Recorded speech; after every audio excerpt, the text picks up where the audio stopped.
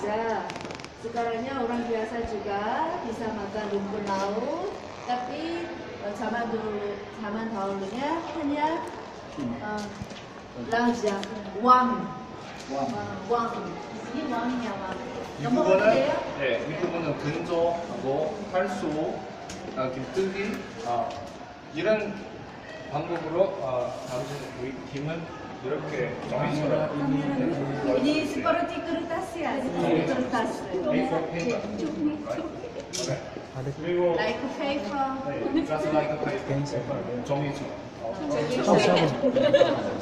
정유청.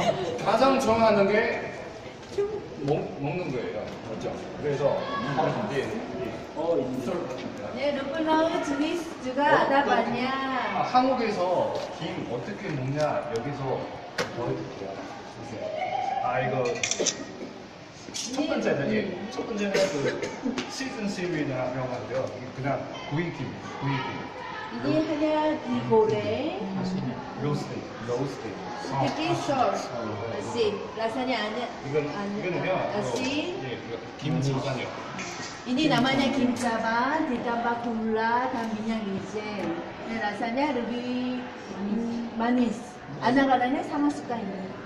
자, 자주고 그 이런 김 잡아 쓰면서 그 주먹밥 만들고.